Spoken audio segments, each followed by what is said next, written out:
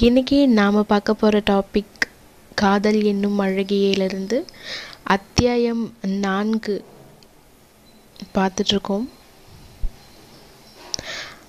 மறுநாளே சுமதியின் அட்ரஸை கொண்டு கொடுத்து விட்டான் சிவராமன். அதற்கு அவன் பட்ட பாடு அவனுக்குத்தான் தெரியும். கேன்டீனில் வேலை செய்பவர்கள் எல்லோருடைய அட்ரஸையும் கொண்டு அதில் சுமதியின் அட்ரஸை எடுத்து வந்தான் அவன். ரம்யா பிளான் போட்டு விட்டாள் சனி ஞாயிறு அலுவலகம் லீவு என்பதால் அன்று போவது என்று முடிவு செய்து விட்டாள் விதி அவளுக்கு சாதகமாக இருந்தது.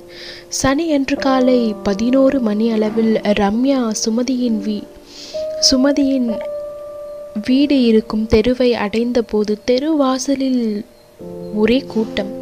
எல்லோரும் கூடி நின்று வேடிக்கை பார்த்து கொண்டிருந்தார்கள். என்ன விஷயம்?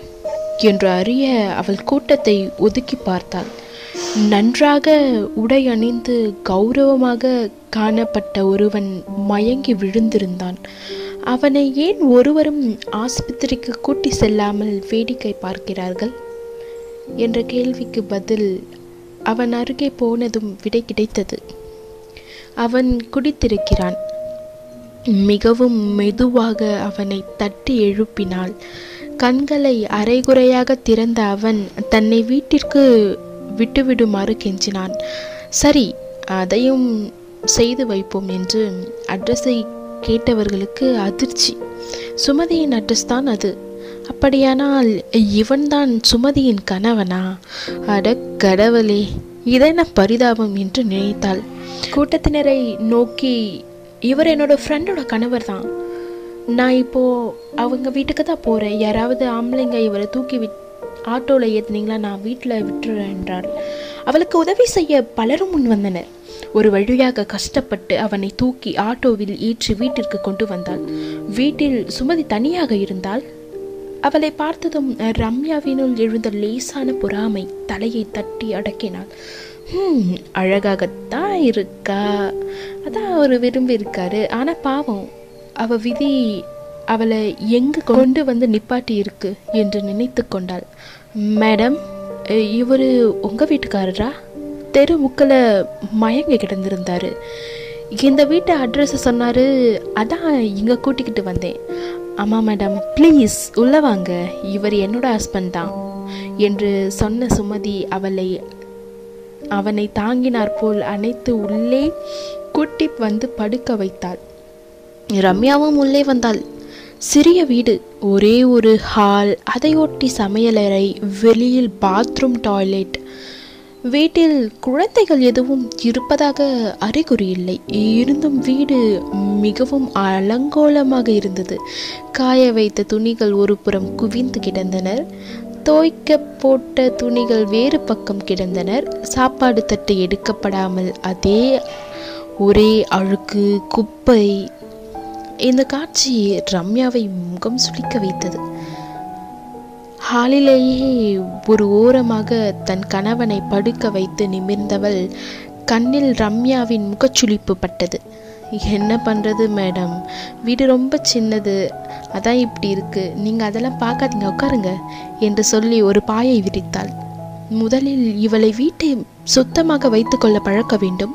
அதன் பிறகு தான் மற்றதெல்லாம் என்று நினைத்த நினைத்த ரம்யா அப்போதே ஆரம்பிக்க வேண்டாம் என்று முடிவு செய்து மென்மையாக புன்னகித்தார். அதனால் என்னங்க? எங்கள் வீடும் சில சமயம் இப்படி தான் இருக்கும். நீங்கள் என்ன பண்ணுறீங்க நான் ஒரு கேன்டீனில் வேலை பார்க்குறேங்க. இவர் டிகிரி படிச்சிருக்காரு நல்ல வேலையும் இருக்குது ஆனால் குடிப்பழக்கம் காரணமாக வீட்டுக்கு காசு கொடுக்கறதில்ல. அப்படியே கொடுத்தாலும் ரொம்ப கொடு குறைச்சல். இந்த நிலையில் நான் என்னங்க பண்ணட்டும்? அது சரிதான். உங்கள் புருஷனை திருத்தி நீங்கள் முய திருத்த நீங்கள் முயற்சி பண்ணலையா? எத்தனையோ தடவை முயற்சி செஞ்சாச்சு. நான் அழுது கதறதும் போதெல்லாம் இனிமேல் குடிக்கவே மாட்டேன்னு சத்தியம் பண்ணுவார். ஒரு வாரம் வரைக்கும் குடிக்காமல் இருப்பார். அப்புறம் பழைய குருடி கதவை திரடி தான் என்ன செய்ய மேடம்? எல்லாம் என் தலை எழுத்து என்னை பற்றி விடுங்க மேடம்.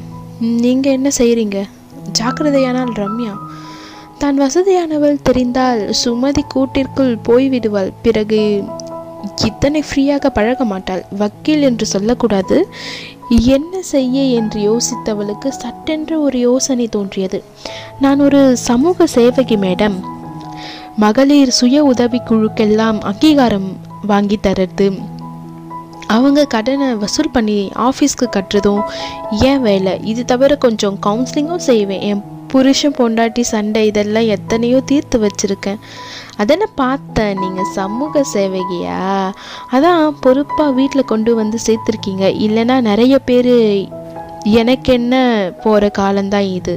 ரொம்ப தேங்க்ஸ் மேடம் இந்த உதவியை நான் மறக்கவே மாட்டேன். என்ன மேடம் நீங்கள் நான் செஞ்சது சாதாரணமான உதவி. இதுக்கு போய் தேங்க்ஸ் அப்படி இப்படின்னு.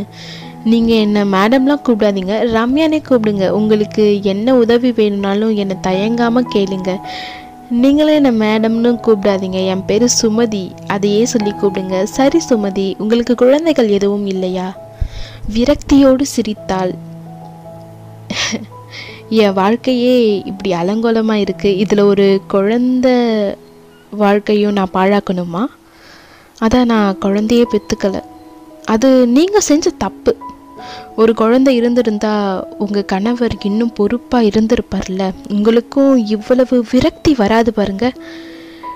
உங்களுக்கு என்னோட வாழ்க்கையில் நடந்த பல விஷயங்கள் தெரியாது ரம்யா. அதனால தான் நீங்கள் இப்படி பேசுகிறீங்க எனக்கு நடந்ததெல்லாம் ஒரு பொண்ணுக்கு நடந்திருந்தா அவன் நேரம் தற்கொலை பண்ணிக்கிட்டு இருப்பா. மௌனமாக உட்கார்ந்திருந்தாள் ரம்யா. முதல் நாளே இவ்வளவு பேசிவிட்டாலே இவளை அணு அணுகுவது மிகவும் சுலபமான விஷயம்தான். முதலில் இவள் தன் வீட்டை கவனிக்க செய்ய வேண்டும். பிறகுதான் இவள் கணவனிடம் பேச வேண்டும் என்று திட்டமிட்டாள். ரம்யா அமைதியாக இருப்பதை பார்த்து என்ன ரம்யா? என் சொந்த கதையெல்லாம் சொல்லி உங்களை போர் அடிக்கிறேனா? என்றாள். இல்லை இல்லை. உங்கள் பேச்சு பழகுற விதம் இதெல்லாம் பார்த்தா பெரிய எடுத்து பொம் பொண்ணு போல தோணுது. ஆனால் நீங்கள் இந்த நிலையில் இருக்கீங்க. அதானே யோசிச்சுக்கிட்டு இருந்தேன் நான் என்றாள். பெருமூச்சு ஒன்று விடப்பட்டது சுமதியிடமிருந்து. என் வாழ்க்கை எப்படி எப்படியோ இருந்திருக்க வேண்டியது ரம்யா. விதி என்னை இப்படி ஆக்கிடுச்சு. சரி விடுங்க. பழைய கதையை பேசி என்ன பிரயோஜனம்? எனக்கு நல்லது பண்ணியிருக்கீங்க. ஒருவாய் டீ குடிச்சிட்டு போங்க என்றாள். அது மட்டும் இல்லை சுமதி இனியும் உங்களுக்கு மனசில் கஷ்டம் இருந்தால் என்னை கூப்பிடுறது தயங்காதீங்க. மற்றவங்க துன்பங்களை கேட்டு அவங்களுக்கு ஆறுதல் சொல்கிறது முடிஞ்சால் நல்ல வழியை சொல்கிறது தான் என்னோட வேலை. புரிஞ்சுதா? அதனால் நீங்கள் எதுக்கும் கவலைப்படாதீங்க என்று ஆறுதல் கூறி தன் செல்போன் என்னை கொடுத்து விட்டு வந்தாள். அன்று நடந்த முழுவதையும் தன் கணவரிடம் சொன்னாள். மொத்தத்தில் அவளை திருத்தணுங்க. வீட்டை ரொம்ப அலங்கோலமாக போட்டு வச்சுருந்தா.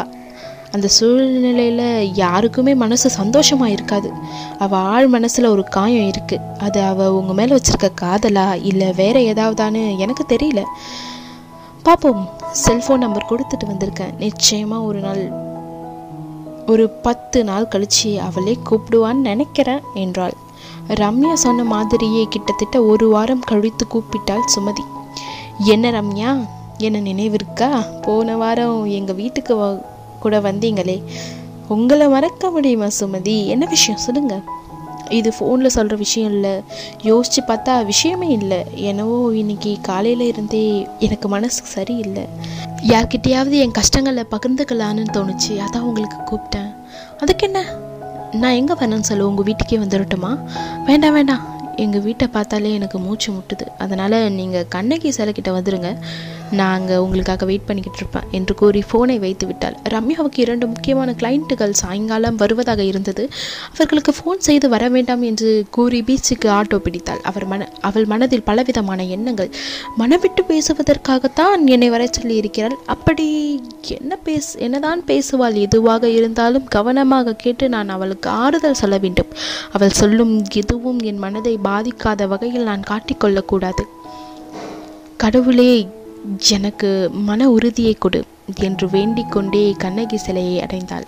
ஆட்டோவுக்கு பணம் கொடுத்து விட்டு கீழே இறங்கியவள் ஒரு கை தோளில் தட்டியது. சுமதிதான் சிரித்துக்கொண்டே நின்றாள். வாங்க வாங்க. எங்கே வராமல் போயிடுவீங்களோன்னு நினச்சேன். கரெக்டாக வந்துட்டீங்களே. ஒவ்வொரு தடவையும் ஆட்டோவில் வரீங்க. கட்டுப்படி ஆகுதா உங்களுக்கு? என்ற கேள்வியால் திணறி போனால் ரம்யா. எப்பவும் பஸ்ஸு தான் போவேன். அவசரங்கிறதுனால ஆட்டோ பிடிச்சேன் என்று சொல்லி சமாளித்தாள். இருவரும் சற்று ஓரமாக அமர்ந்தனர். கடல் அலைகளையே பார்த்து கொண்டிருந்தனர் இருவரும். சுமதியை பார்த்தவள் திடுக்கிட்டாள். அவள் கண்களிலிருந்து கண்ணீர் வழிந்து கொண்டிருந்தது. என்ன சுமதி ஏன் அழறீங்க? ஏதாவது கெட்ட செய்தியா? ஊர்ல யாருக்கும் உடம்பு சரியில்லையா? என நாள் ரம்யா. எனக்காக எவ்வளவு பதறீங்க நினைக்கவே சுகமா இருக்கு. ரம்யா எத்தனையோ பாவம் நான் செஞ்சுருந்தாலும் கொஞ்சம் புண்ணியம் செஞ்சுருக்கேன். அதனால தான் அவங்க நட்பு எனக்கு கிடச்சிருக்கு என்று உணர்ச்சி பெருக்குடன் கூறினார். சாச்சா நீங்கள் என்ன சின்ன பிள்ளை மாதிரி இதுக்கெல்லாம் கண் கலங்குறீங்க? என்று தன் கைக்குட்டையால் அவள் கண்ணீரை துடைத்தாள். இப்போது எனக்கு எவ்வளவு தெம்பாக இருக்குது தெரியுமா? எனக்கு தெரிஞ்சவங்க எல்லாம் என்னை கேலி செய்யவும் கிண்டல் பண்ணவுமா இருக்கும்போது நீங்கள் மட்டும்தான் உண்மையிலே என் மேலே அக்கறை காட்டுறீங்க. நான் ஏன் உங்களை இன்னைக்கு வர சொன்னேன் தெரியுமா? தெரியாது சொல்லுங்க. எனக்கு இன்னைக்கு பிறந்த நாள். அப்படியா? Minimum happy returns of the day நான் அதுக்கெல்லாம் கூப்பிடல ரம்யா. கிட்டத்தட்ட இருபத்தஞ்சி வருஷத்துக்கு முன்னாட என் பிறந்த நாளை எங்கள் வீடே அலங்கோலப்படும். குறைஞ்சது நாலு புது ட்ரெஸ் கிடைக்கும். அது தவிர வீட்டில் கோழி அடித்து விருந்துன்னு எங்கள் அம்மா தடப்புடல் பண்ணிடுவாங்க. அதெல்லாம் ஒரு காலம். அப்போ நாங்கள் பெரிய பணக்காரங்களாக இருந்தோம். கண்ணிலிருந்து கண்ணீர் வழிவது நிற்கவில்லை. சுமதி உங்கள் மனசில் என்னவோ ஒரு சோகம் மறைஞ்சிட்ருக்கு. அதை என்கிட்ட சொல்லலாம்னா சொல்லுங்க. உங்கள் மனசு சங்கடப்படனா வேண்டாம். சொல்ல ரம்யா சொல்லத்தானே உங்களை கூப்பிட்டேன் என்றவள் கண்களை துடைத்து கொண்டு சொல்ல துவங்கினாள். நன்றி.